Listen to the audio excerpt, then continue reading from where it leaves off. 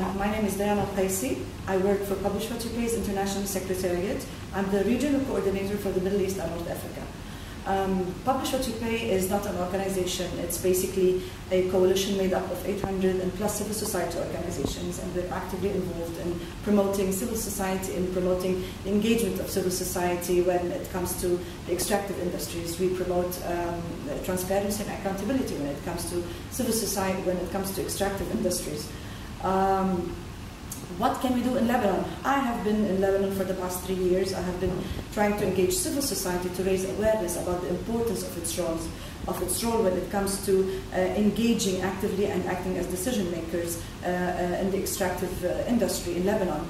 Uh, so far, what we have seen is that there is an increased uh, interest and uh, awareness is continuously being raised about their important role. We are happy to see that there is an increase in number uh, of those organizations that are now reaching out to us to see how they can actively be involved in this sector, how they can promote transparency, what are the lessons learned from other organizations and other coalitions uh, in other countries that are you know, part of the big Publish What You Pay uh, network, what have they done in, in holding their countries accountable.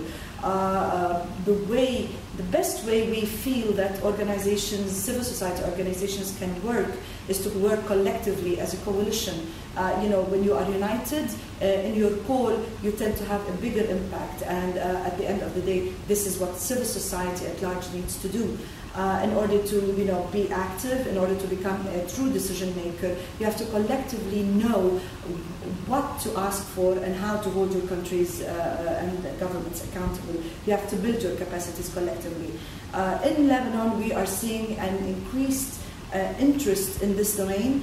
We are uh, now being approached, as I said earlier, um, by civil societies, and, and we're really happy to collaborate with them. I'm just looking forward to, uh, you know, having uh, more engagement at the sub-community level, uh, reaching out to these community-based organizations to see exactly how we can help them out and how, how they can help themselves become um, and enable themselves to become more, uh, you know, more involved in this in the whole process.